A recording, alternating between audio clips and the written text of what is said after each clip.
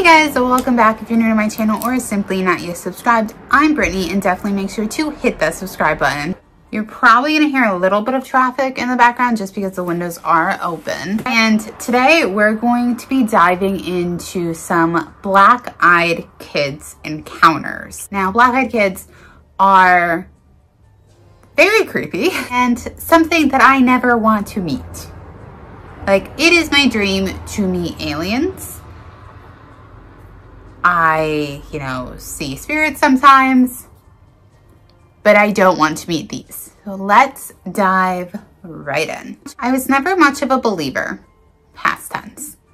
Before I explain my experience, I feel it necessary to tell you how much of a non-believer I was of so many things.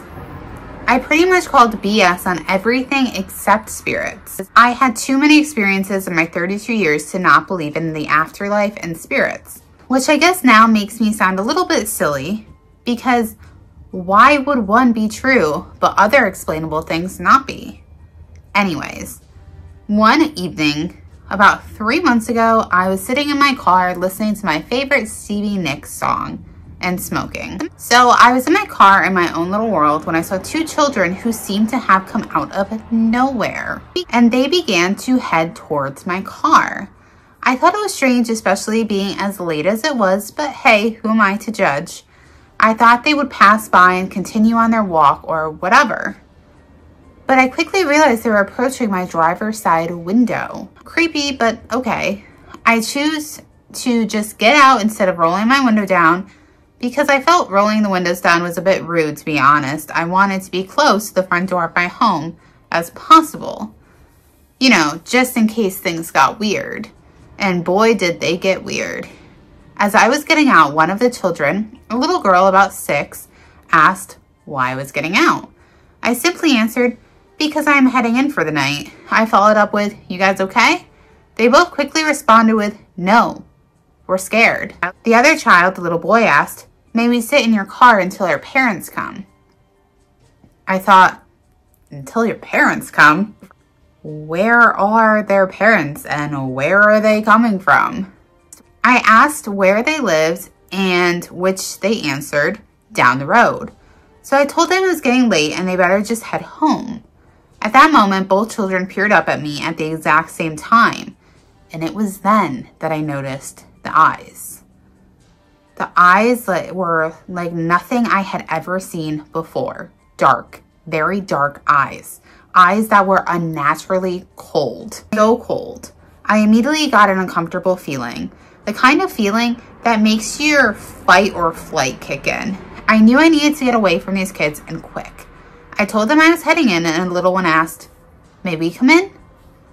I said, no. And it was then that the polite children started putting off an almost annoyed and angry vibe. I again told the children they needed to head home and the best I could do was call the police when I get inside. I said goodbye and headed towards the front door. They followed. It was time I got assertive. These children were not coming into my home. They both began mumbling things I could not make out, but whatever it was that they were saying did not sound kind. I made it inside, turned to lock the door when the knocking began. Are you kidding me? Why won't these kids get the hint? I was not answering the door. No way. I called my boyfriend and explained everything. He thought I sounded crazy, but agreed to head over to stay the night so I would feel safer. Needless to say, children eventually gave up and went back to whatever creepy, soulless hole they crawled out of. I hate to talk about kids like that, but they were not normal kids. Not even close. I've never seen these black-eyed children since, and I pray to never see them again. Encounter two. I had an experience with black-eyed children when I worked at a hotel. That night was extremely slow, and we only had five rooms occupied, and I worked the night shift. I got there at 11 p.m., and I already felt an intense fear. This was pretty unusual as I was used to working there all alone during these those hours five nights a week. I rarely saw people on my shift. So it's around 1 a.m. and I get even more freaked out. I look around the lobby and no one was there. I look at the cameras There was one for literally everywhere in the hotel. I could see every inch of the grounds from the front desk. There wasn't anyone on the cameras. I look down for a couple of seconds and back up. I see a little girl at the counter. She's so short, I can only see just her nose up. Her eyes were solid black and she had black hair. She came out of nowhere and managed to make zero noise. She was staring at me silently. I jumped and was so scared at this point. I stuttered, Hi, can I help you? And she practically whispers in a monotone voice that didn't suit her, Can I have some towels? And I said, Okay. And I'm practically doubling over with fear. I go around the corner to grab some towels and turn to see she's in the entryway behind the counter or two behind the counter. I was so scared. I could see her full body at this point, and she was exactly the kind of little girl you would expect in a horror movie. Waist length, black hair, pale complexion, black eyes, and barely audible. I handed her the towels and she grabbed them. Her hand touched mine, and as she did, and it was super clammy. In the same voice as before, she said thank you and turns and walks away. I looked at the cameras and didn't see anyone go into any rooms or see her anywhere. I remained terrified all night and still have no explanation for this. I usually do not scare easily and love kids, but that night I felt a brand new kind of fear. And this is the last encounter. Now, this person doesn't believe that it is a black-eyed kid, but let me read it to you. I rarely share on here not because I don't want to, but because I have in the past and wasn't getting or wasn't good at getting my experiences across, but I wanted to give it another go. I want to know if anyone has experienced anything similar to what I saw back in 1999. So 20 years ago, it happened on October 9th of that year. And the only reason I know this is because eight-year-old me was watching the premiere to the Disney Channel original movie, Don't Look Under the Bed. Great movie. I hope that little factoid doesn't deter from what I'm trying to get across. Before I continue, I'd like to give some backstory to the house I grew up in. I lived in Kensington, a part of Philadelphia that has the largest open hair, um, like a drug market and so it looks like The Walking Dead with addicts slugging around everywhere. And it wasn't uncommon seeing some of them go into back alleys. I was four or five at the time that I first saw something out of the ordinary. I remember it clear as day. My siblings and I were playing in the middle bedroom, having a good time being kids. My mom has just introduced us to her new boyfriend at the time, and they came upstairs and watched us from the hall. I don't know what happened, but during our fun, I got a feeling of being watched and just had to turn into that direction, which happened to be the one window in the middle bedroom. I looked out and saw what at first appeared to be a man, but I looked closer and I noticed that he didn't have a face and his skin from head to toe had the texture of a wrinkled black plastic bag.